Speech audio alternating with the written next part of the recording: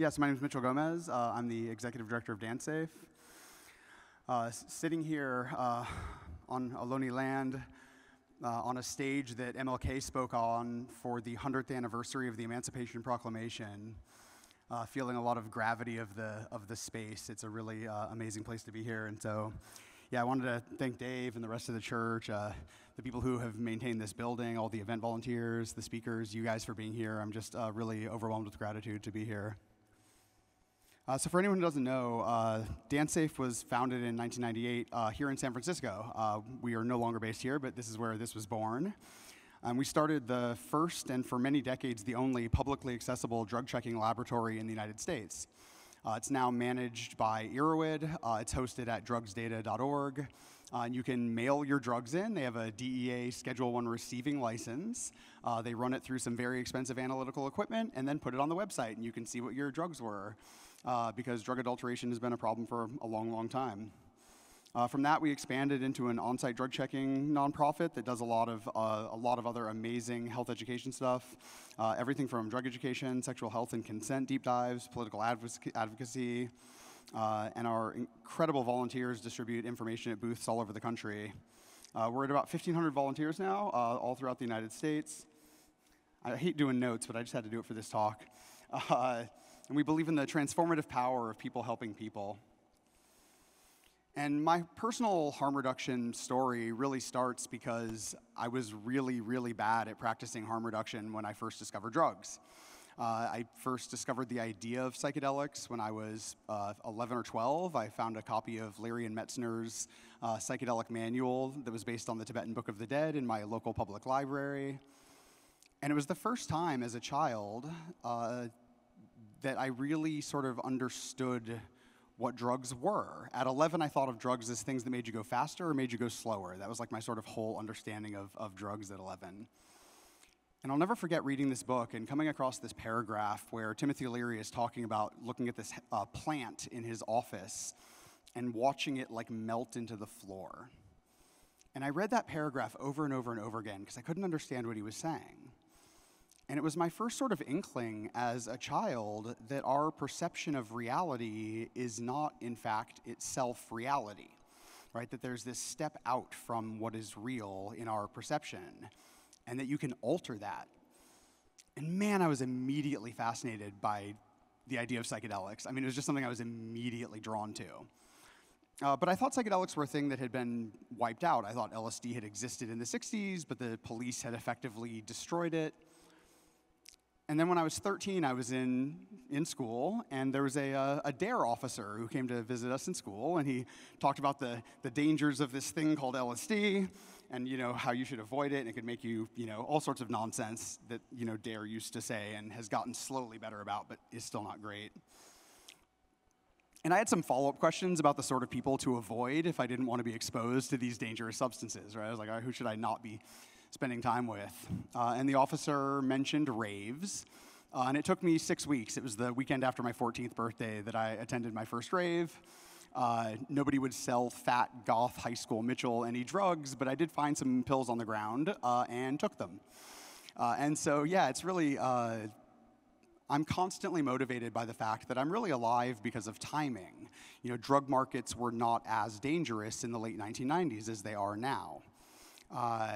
And so, yeah, this has been an accelerating problem. Uh, and one that I have a lot of personal motivation for. Uh, I look at pictures of my old rave crew, and the, the number of people who aren't here anymore is just a never ending source of motivation for me to uh, continue the work.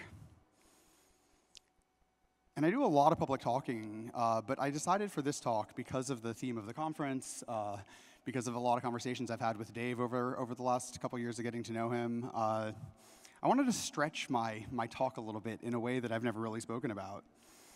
Uh, and so, yeah, I mean, there's a lot of different religious and spiritual tr traditions uh, that have moral principles that I believe can call us to psychedelics, to harm reduction, to ending the drug war, uh, but wanted to talk about the ones that sort of really resonate with me. Uh, my mother's family are Ashkenazi Jews. Uh, they came over just before World War I when the pogroms were happening against Jewish communities uh, in Russia, Ukraine, Prussia, Uh, so survived the Shoah, but all of the records of my family end at the Holocaust on that side of my family. Uh, my father's family are Sephardic Jews from Portugal and Spain who were kicked out by the Spanish Inquisition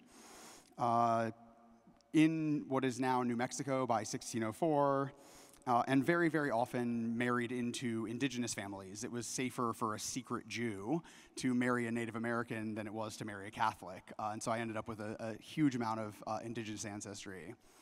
But was really raised primarily within the Jewish tradition, and so that's the one I wanted to talk about. But I did want to give one nod to one specific ancestor of mine. Uh, Maria de Zamora uh, was a Nahua uh, native, so what we would now call Aztec. came into New Mexico with the Spanish. Uh, and in 1607, uh, it was actually this last December, like December, so December 1607, uh, was arrested by the Spanish Inquisition in Santa Fe for uh, practicing indigenous religion uh, using what they called peyotal, uh, which now would be translated as peyote, but at the time actually meant any mind-altering substance. So it's not entirely clear. It may have been peyote, it may have been psilocybin, datura, there's a lot of possibilities. Uh, but it does mean that we are now coming up on the 418th anniversary of family members of mine being arrested for drug crimes in what is now the United States. Uh, and so I did want to give a, note, a nod to Maria de Zamora.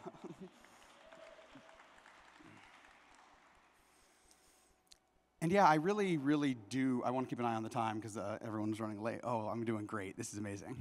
um, I really do believe that uh, not just around psychedelics, but the drug war as a system uh, is fundamentally evil. I think that it fails in what it claims to do. I believe it's deeply immoral. Um, I believe a lot of the people who are enforcing these laws are being intentionally disingenuous about their reasons. Uh, and so, whatever your uh, religious, oh, um, whatever your religious tradition is, uh, I truly believe there are very valid reasons to end the drug war. And I want to talk about a couple of those, and then I'll, I'll share some uh, lessons from my, my Jewish upbringing and my Jewish morality that I think are really applicable. Uh, we are now, uh, the media often says we are now in the middle of a fentanyl crisis. Uh, my deepest, deepest fear, but one that I think is really rooted in reality, is that we are, in fact, at the very, very, very beginning of a synthetic psychoactive drug crisis. Uh, I don't think we're anywhere near the middle. Uh, and this is a dynamic that has been created, driven, exacerbated entirely by drug prohibition. Uh, when Donald Trump announced his candidacy the first time, I wrote a public piece that said if Trump won the nomination, won the election, and got money for the border wall, for every mile of wall built, we would see an increase in synthetic opiate deaths. Right? As you make it harder and harder to smuggle heroin, drug sellers would switch to more potent analogs because doses per smuggled shoebox becomes like the single most important metric. Throughout my entire life, I've always been really happy when I'm like smart enough to predict the future. This was the first time in my life I was gutted to be right. Um, it was really sad because this was not just predictable, it was predicted. Uh, uh, Leonard Pelt, uh, not Leonard Peltier, sorry, uh, Leonard Pickard was writing about the possibility of a fentanyl crisis in, by like 1994. We've known for a long time that this was coming, that prohibition would be driving it. And even if you don't do drugs, even if you don't consume drugs that are sometimes adulterated with other drugs, uh, the drug war is dangerous to society as a whole. Uh, it's eroded our Fourth Amendment right to be free from search and seizure to the point that it might as well not exist. Uh, drug dogs have been shown to be wrong more than 50% of the time, which means it would be less of a civil rights violation to let the police flip a quarter and decide whether to search you or not. Like, at least that's 50 50, right? So, like, that would, you know, maybe be better. Uh, you know, there's been countless cases of people who had no involvement in the drug trade whatsoever, having their doors kicked down, being shot, uh, often having evidence planted against them. There have been many high-profile cases. Like literally, if you uh, Google, you know, false drug planted after raid, like you have to scroll pages and pages and pages of information. This is like a really common thing. And one of the saddest ones is how deeply it undermines public trust in the idea of like fair governance and fair policing. Uh, there's no real fundamental reason uh, that law enforcement has to behave the way they do, uh, other than the fact that it's necessary to enforce prohibition. Most crimes have a victim who reports that crime to law enforcement, is cooperating with the investigation. It doesn't require these sorts of dirty tactics that are required to enforce drug prohibition when there are no victims in the sense that you know we mean. There's obviously people harmed. It also acts as this incredible poverty trap. Uh, you know, once you're a convicted felon, you are excluded from public housing, uh, you know, public food assistance in many states, student loans for a long time, although there has been a lot of progress on, on that front. It used to be that any drug felony, you were barred for life uh, from getting a student loan. Um, that has been slowly changing. And when you combine that with the racial disparity in drug war enforcement, uh, you end up with a system that Michelle Alexander very rightly called the new Jim Crow. That this was a system that was designed to replace Jim Crow as a form of, of racialized control. Uh, there are, in absolute numbers, it is undeniable, there are more white users and sellers of drugs and yet the arrest data for possession and distribution has never mirrored what we know is the reality of drug distribution in this country.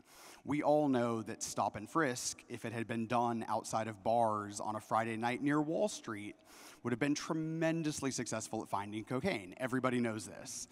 Uh, there is a reason they didn't do that because those people can fuck with them back.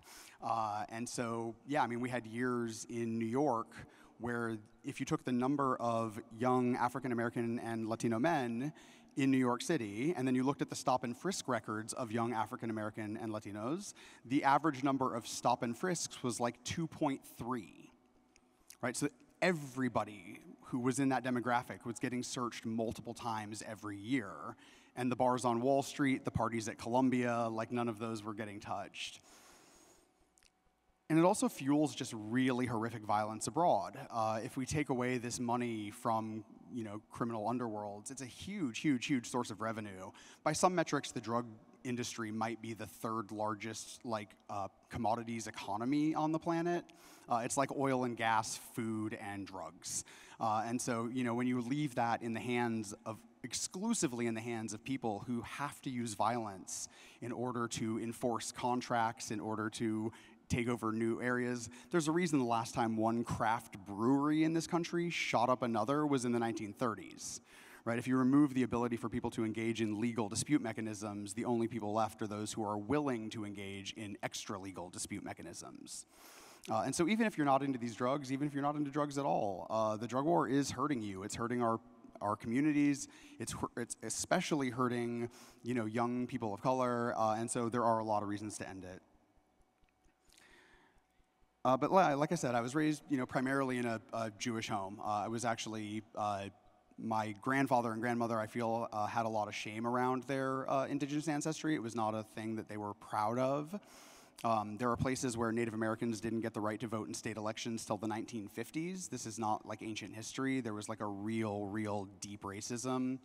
Uh, and so I was not raised with this knowledge. I've been reconnecting as an adult, and I've been really touched by my distant family who are, you know, enrolled in various nations and some state-recognized tribes for being so open and welcoming. But I really wanted to focus on Judaism because it was the, the way that I was raised and the way that my morality was really formed.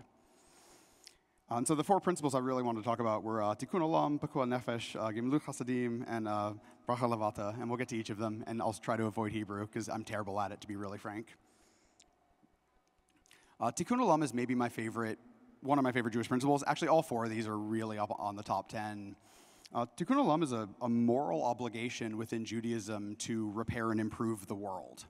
Uh, I often say that there is actually no such thing as a Judeo Christian tradition. Uh, Judaism demands that we are the ones in charge of repairing the world, uh, which is really diametrically quite far from the sort of Christian tradition of uh, faith alone. And when you center the sanctity of human life, human well being, and you look at the drug war, they're irreconcilable. We are required to repair the world. The drug war is causing all of these harms. And so we are called to, to create a world in which these harms are no longer in place. Uh, and I'm not saying that selling heroin at 7-Eleven is necessary the move, necessarily the move. I, am not. There's a million different regulatory models for all sorts of different drugs. Uh, I do genuinely believe if we sold heroin at 7 Eleven, less people would be dying from opiates than are dying right now from fentanyl. Uh, the data from the CDC was supposed to be out by this week. They are once again late. Uh, but I think that we are rapidly approaching three times the peak year of HIV deaths from all drugs in this country. So the peak year of HIV deaths was, I believe, 95 or 96. It was 45,000 people. Uh, and we are now rapidly approaching three times that number dying from drugs. And there was a time in this country when anybody could walk into a pharmacy and purchase heroin. Uh, they could purchase uh, amphetamines. This was a thing that was sold over the counter, and we had less people using them and less people dying. Uh, and so we have done that in this country before, and it worked to reduce the harms of these substances. Um, I actually have a lovely little bottle at my house of a product called Ipsandrine that was over the counter for many years in this country. It was a cough syrup for children uh, that was cherry flavoring and raw extract of ephedra and poppy. Like it was a cherry flavored speedball that you could buy over the counter. And this was like a legal product in this country for many, many years. It's an empty bottle, unfortunately, but that's what I could find. Um, Tikkun Olam also centers this idea of true justice and true compassion. And for me, compassion is, I think, rooted in the radical empathy that comes from realizing that if you had been born in another person's body and lived that person's life, the odds are you would substantially be that person.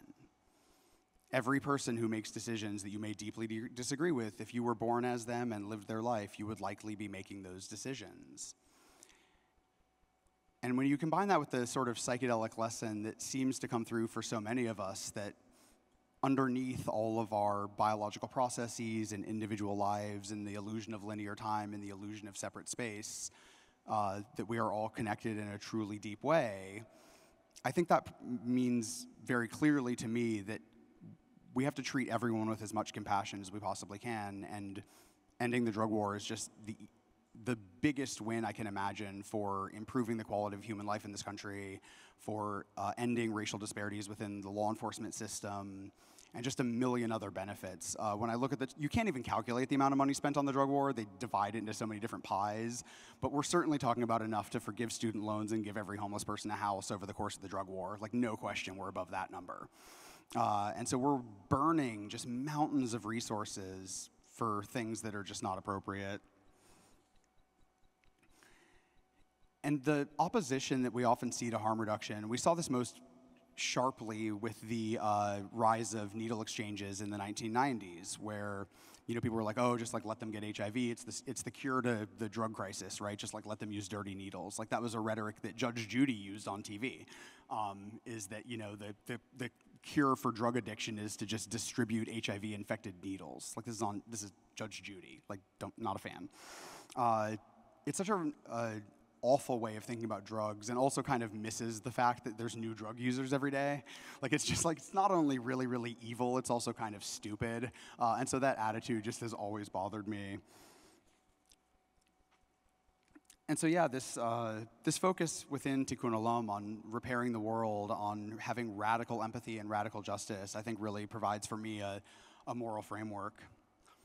Uh, which ties in with Pikuah Nefesh, uh, which is a lesser known principle in Judaism, but one that I actually think should be wider known because it, it worked its way into British common law and then also into US law. Uh, Pikuah Nefesh is a direct commandment within the Torah that says you can break any other commandment in the Torah if it is necessary to save a human life. There is no law which can prevent you from saving a life within Judaism. Um, and because commandments from the Torah are centered above uh, temporal stately law, uh, this to me says very clearly, right? I have a moral obligation to break the law to save a life. Uh, you know, DanceSafe manufactures and distributes uh, testing equipment. Uh, they are considered drug paraphernalia in somewhere between 30 and 32 states. We have an intern updating our docs right now. Uh, and there's this meme that goes around. It says, badly describe your job. Uh, and the way I always describe it is that I break state and federal drug law and brag about it on Fox News. Uh, and so, yeah, I'm very okay with that because it came into US law as well as something called the necessity defense. Uh, this most often comes up when people run a red light to get to a hospital. Right, if your actions were necessary to save a life, you can use that as a defense in court for the reason why you broke that law. Um, it does not prevent you from being arrested or charged. It's a, a defense that you can present to a jury. Uh, but one that I think is really important. Like, I, I like the fact that that is a part of our legal system.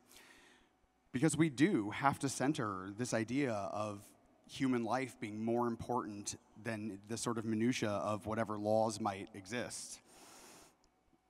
And when it comes to reducing, you know, if you want to really, really reduce other types of criminality, if you really want to save human lives, um, ending the drug war is just such a huge win.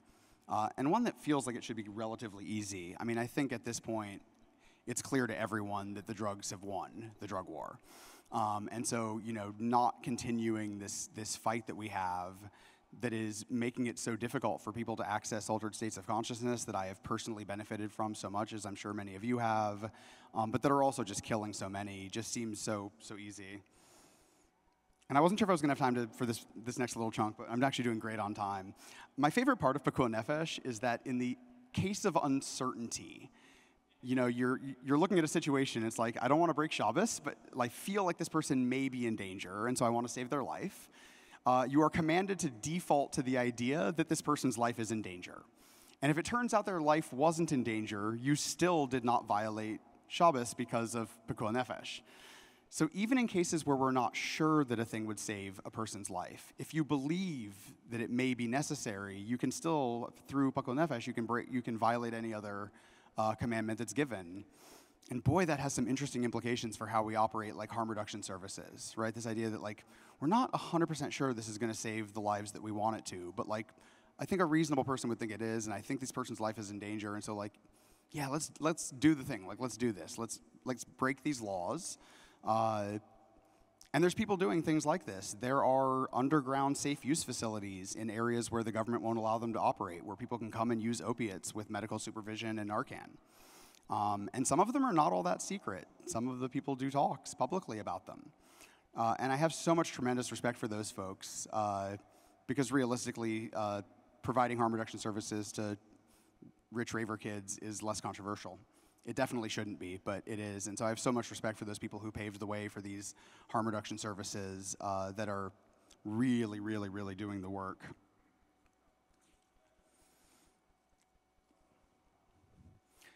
Um, the next principle I want to talk about was uh, Gemilut Hasadim, which is this idea of acts of loving kindness.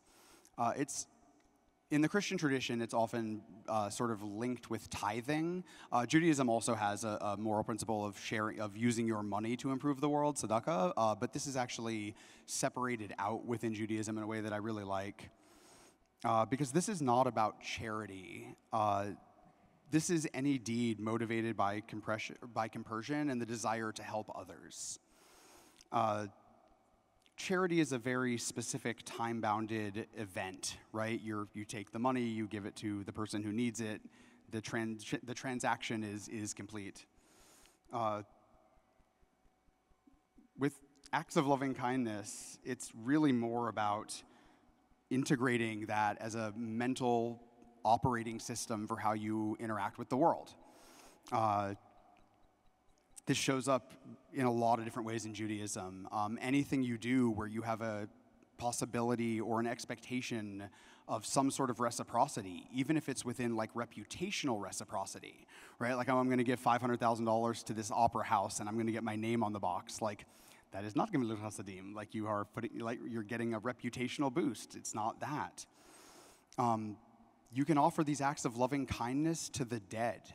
Uh, one of the sort of highest acts of, of this principle is to wash and prepare the body of someone who has passed who has no one else to do it for burial. Um, talk about no possibility of reciprocity, right? I mean, that's the, that's the ultimate example of like no possibility of reciprocity is kindness to those who have passed. Uh, it's often explicitly bounded as not being about money because with money, different levels of wealth, by definition, imply different levels of ability to perform that act. This is not that. This is a thing that each of us can do. Every interaction, every moment of every day is approach the world with loving kindness. Think, how can my actions either improve or harm the lives of those around me? Uh, it's a way of looking at the world, not necessarily these individual acts. and it's also very explicit within the, the sort of Jewish tradition that this is a thing, charity often implies helping those who are like, I don't want to say less than you, but maybe less resourced than you, are having a hard time. Uh, this is a thing that transcend, transcends uh, economic, you know, stratification, you know, power dynamics. You can offer love and kindness to a rich person as easily as you can to a poor person. You can offer it as easily to a person who's putting handcuffs on you as they're arresting you as you can to a person on the street asking for money for uh, you know, food for the day. It's simply a way of relating to the world, of, of recognizing that all people are people living their lives the, the best they can, and that we can, as individuals, recognize that, uh, live that, and approach the world that way. Uh, it's a thing I try very, very hard to do in person and have an awfully hard time to do when like trolling people on the internet. And I'm trying to be better. I really, really am. Um, but in my day-to-day interactions, it's a thing I really deeply appreciate and really try to care for. I definitely saw some of my coworkers uh, knowingly smile when I said that. They see my social media presence. So. Um, The last thing I want to talk about, and I think I'm actually quite good on time, which means we may make up for some of the, the time that was lost by starting a little late. Uh, Bracha Levatla is a, a, a principle that I think is the hardest one to explain to somebody who was not raised within Judaism, but one that I felt was really, really important and that I gave a lot of time to. Um, and it may be the single sharpest point of divergence between Judaism and Christianity. Uh, this is the sin of offering a prayer for something and then not working to the outcome of that prayer. Within Judaism, thoughts and prayers alone are a sin. Uh, you must work towards the goals that you are claiming you want to see in the world. This is a requirement within, within Judaism. And man, it's just one of my favorite things about this religion. And I have plenty of criticisms. Uh, I really, really do, particularly about how Judaism has been co opted as a political movement. It, it, deeply concerns me and deeply offends me as, as a Jew. But this principle, I think, if it had survived into Christianity, we would be living in a radically different world. The idea that, oh, I want this thing to happen, but I'm unwilling to work towards it, if that was viewed as the same type of sin uh, that some Christians view homosexuality as. Like, we'd be living in such a radically different world. And when I look at a government program, and I'm trying to analyze what that program is and why the government is doing this, uh, at this point in my life, I have basically started to ignore everything the government says they are trying to do. I, that's not relevant uh, what a program or a policy or an agency, the outcomes they achieve are what they're trying to do. Like, that's it. A program is what a program does. Uh, and so I often see this narrative of like, the drug war has failed. Uh, if only that were the case. Uh, I think, in fact, the drug war is substantially doing exactly what it's intended to do. Uh, it's intended to curtail our right to tell cops, like, no, you're not going to look at my car. This is my property. Like, fuck off. Uh, it's intended to curtail our religious liberty to uh, engage with our own minds and consciousness and connect with the universe in whatever way we desire. It's designed to lock up disproportionate numbers of young people of color. It's it's working exactly as designed. And until we have a societal recognition of that fact, it's going to be really, really hard to figure out how to end this. Uh, because we are talking about tremendous amounts of money and outcomes that are greatly, greatly desired uh, by people with structural power and resources. Uh, and it shows up in a lot of ways, but I wanted to talk about a couple. One of them is just near and dear to my heart because DanceSafe manufactures so much drug checking equipment, and so it's a, a thing that I research quite a lot. Uh, and we've been, for a long time, we're trying to develop a better uh, cocaine reagent, a way to see if a substance actually contained cocaine. Uh, and I found one that was manufactured for law enforcement, uh, Scott's reagent. They claimed it worked very, very well. I was super excited. So I downloaded the MSDS, the Material Safety Data Sheet. If somebody sells something in this country, they have to tell you what's in it. Yay. Uh, so I downloaded the MSDS and sent it to our chemist, and we manufactured it. And it turned the same color blue for cocaine as it did with damn near everything else I put in it, including dirt, tree leaves, uh, lint, and air if you gave it about 25 minutes. So if you crack this uh, test, put it on the hood of the car, spend 25 minutes talking to this person, like, oh, look, this was cocaine. That's not negligence. Um, I, I would testify under oath that, in my opinion, it's designed to manufacture probable cause. That is the purpose of this law enforcement tool, is to manufacture the ability to search a person um, we were able to modify it in a way that it actually does work. And so we now have a similar reagent that works quite well. Um, the fact that I had to modify it, the fact that I could modify it, the fact that like me and a bunch of like amateur chemists were able to like make it work in the way it claims to, means it's design. Like that's what it means.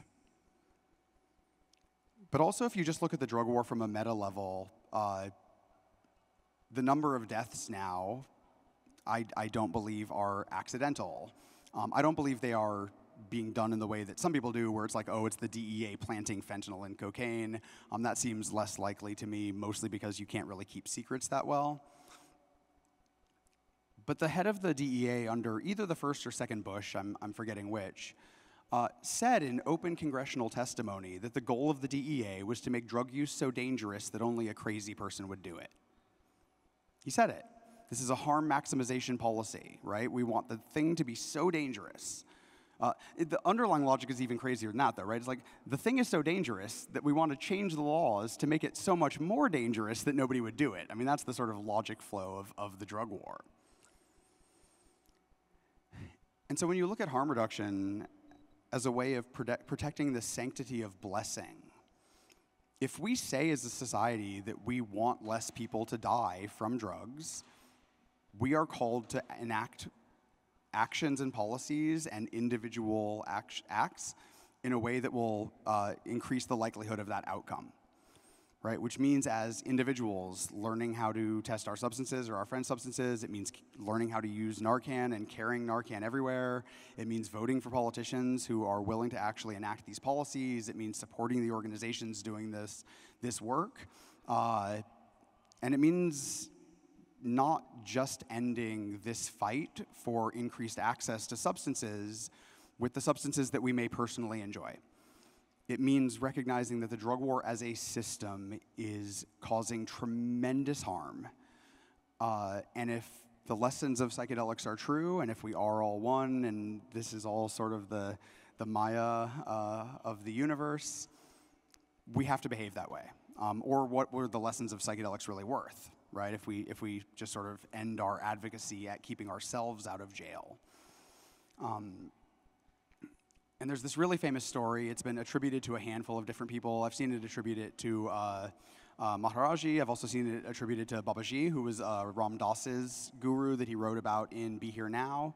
Uh, for purposes of this talk, uh, we'll just pretend it was Babaji. Uh, as Dennis McKenna once told me, uh, Terrence never let the truth get in the way of a good story. Uh, it was when I was complaining that you know he had that quote about if life, liberty, and pursuit of happiness don't mean the right to alter our consciousness, it's not worth the hemp it's written on. And it bugged the shit out of me because it's written on vellum. Uh, and when I told Dennis, he was like, no, no, like Terrence knew, it's fine. Like don't, don't let the truth get in the way of a good story. So we'll pretend it's Babaji. And the story is that this person comes to Babaji and says, I really only have one question for you. Everyone says you're this, like, you know, this living master of how to relate to the world. And the question was, how should I treat others? And Babaji's answer was, there are no others. Right? There are no others. Uh, and so we can, we can relate to the world in that way. And, you know, these are these are individual obligations. These are my views on my obligations for how I should relate to the world. Uh, I learned a long time ago to not try to uh, impose my, what I view as my obligations to the world on others.